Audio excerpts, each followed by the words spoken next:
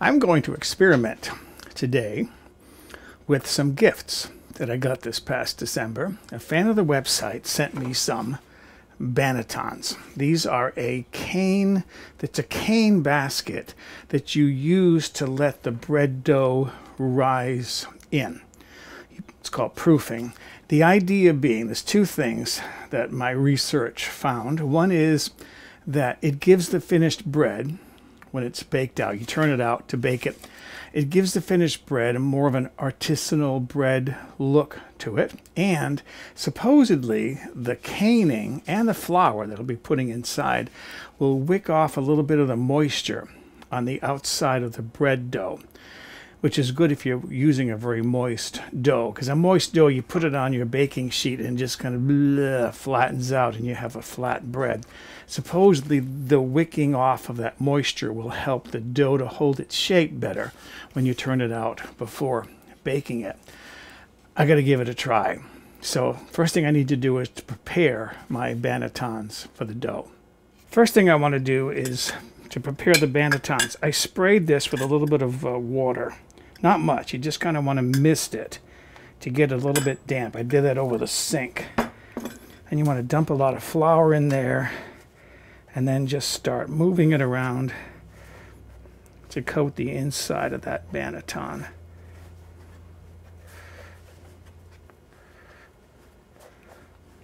Like so.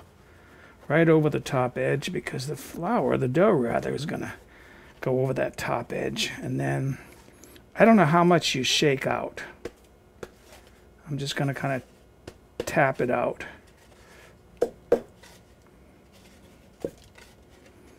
And that looks pretty decent. Okay, that looks good. I have the other one to do next. So there are my bannetons. I think these are ready. I'm going to put those aside. And next, I'm going to start mixing my dough. If you're wondering what this is for, this is a pad so I don't hear noise. See, that's all nice and quiet. So I'm going to mix my dough. I have 900 grams, which is about two pounds of bread flour. That's roughly six and a third cups by volume. If you figure five ounces per cup, um, when it comes to baking, I do things by weight now because I get so much better. And this is bread flour. I'm going to put half of the bread flour in there right now. And the other half is sitting in here. And then I'm going to add one tablespoon of active dry yeast. That's right there. Two teaspoons of salt. If you like a saltier bread, you can go up to a tablespoon. I don't like it too salty and then I'm going to mix that up pretty well. This is a dough hook, a hand dough hook that someone from Italy sent me. I get um, gifts sometimes from fans of my cooking videos or my website. Okay, get that mixed up. And then what I have is 600 grams, which is roughly two and a half cups of water.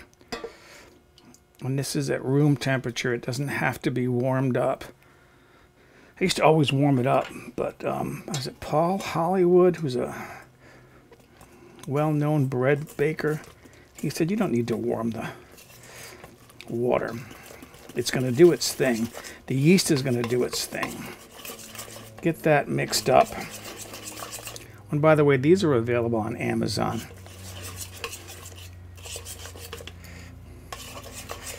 Okay, so there's my starter. That's my batter. I can next move this to my stand mixer. This, by the way, is a really simple formula for bread. It's just four ingredients, flour, water, salt, and yeast. I believe, if I read correctly, I do a lot of research when I'm researching for my recipes. I believe there's a law in France that says you cannot call French bread French bread unless it's made only with these four ingredients people in France would know that. I don't. I live in America. Okay. I'm going to work in the remainder of my flour. And what I'm looking for is a dough that'll be moist, more moist than I'm used to seeing. So I want to see a lot of sticking in the bowl because I want to test those bannetons to see how well they do wick moisture away from the outside of the dough while it's rising.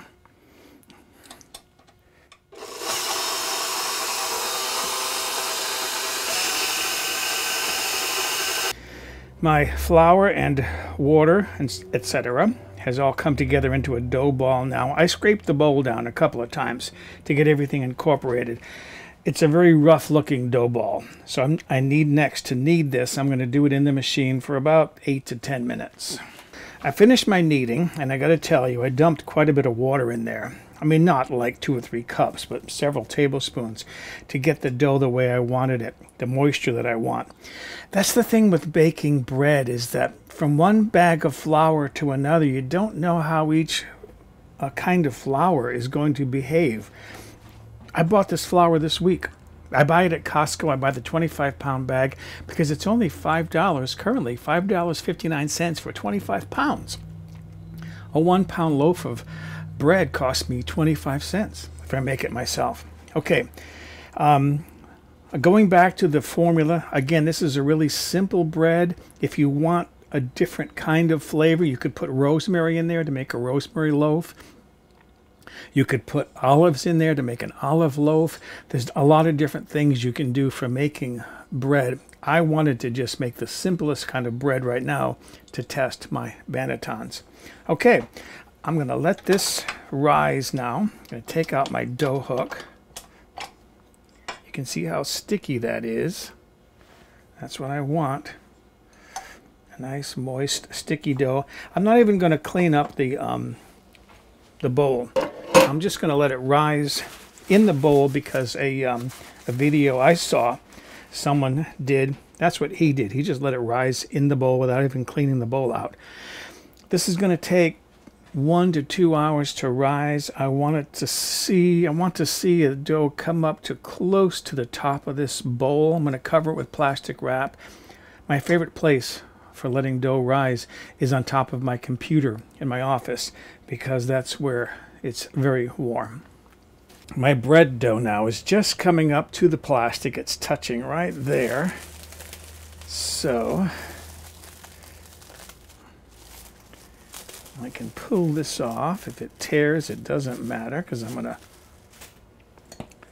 punch it all down anyways. Look how sticky that is. But that's what I want.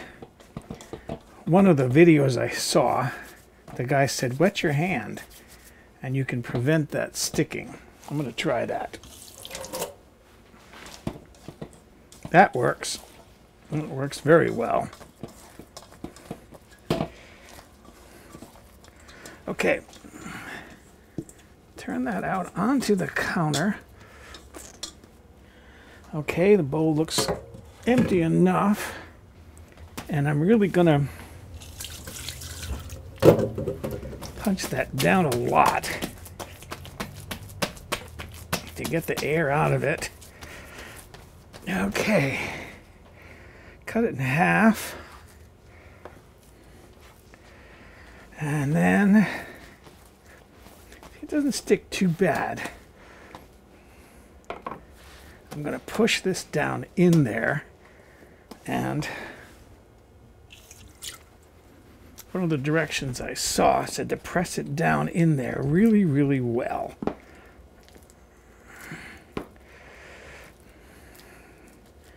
And that's filling that up more than I want it to. Okay. And then the other one, same thing. Press it in there.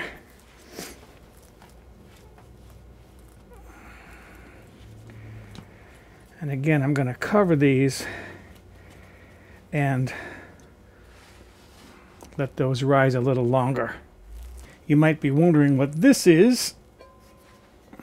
I wanted the dough to rise outward, to expand outward, to fill this banneton really well. It was an experiment, and so far, it looks great. Came out perfect. I did butter the top of these so that this wouldn't stick this time. So that's one loaf. Here's the other that rose quite a bit more than I was expecting it to, but that's all right. And this, by the way, is the bottom because that's where all the weird stuff is. Now, I lined a baking sheet with parchment paper. If all goes according to plan, this should just plop out with hardly any sticking. And it didn't come out nicely. That one didn't come out nicely. Let's try this one.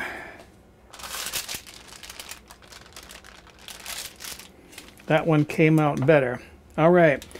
I heated my oven to 425 degrees. And I'm going to bake these for probably 40 minutes because I have two loaves here to bake. Here is my bread out of the oven. And I have to say I'm quite pleased with it, despite the little problem I had over here with getting the um, bread out of that banneton, it looks fine now. The biggest issue is right here where the two loaves of bread kind of grew together, which I'm okay with. That's not a big deal. Okay, I'm going to transfer these to that cooling rack to let these loaves cool down. So there they are now, they're cooling. One thing I could have done that would have given them even more of a artisan look is slit the top of the loaves before they went into the oven. But that's fine. I mean, look how pretty those loaves are now. And see the, those circles, that spiraling, the marks on top. That's what the look you want when you're using Bannetons. These have had a chance to cool down a little bit, but they're not completely cool because, well, two things. One, I'm hungry and two is I want to see what this looks like inside. Oh, listen to that crust. Crisp.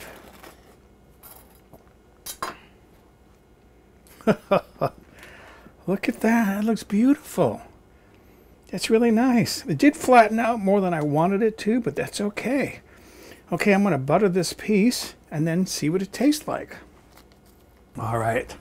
Let's see what this tastes like. I think what pleases me most about this is it's a very simple white bread, the most basic you can get. Flour, water, salt, yeast.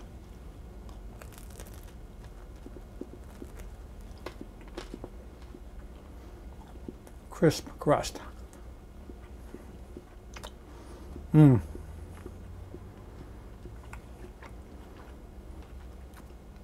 That's good.